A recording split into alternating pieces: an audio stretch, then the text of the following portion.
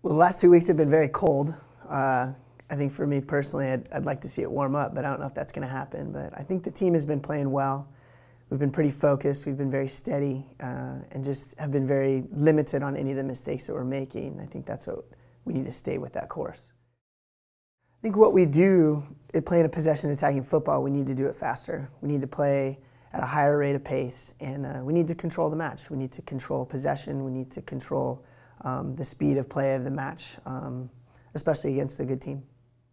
Well, I think the number one key is to, is to win the match. Uh, we, we definitely want to win, and obviously, the team who scores more goals is going to be the team that is victorious.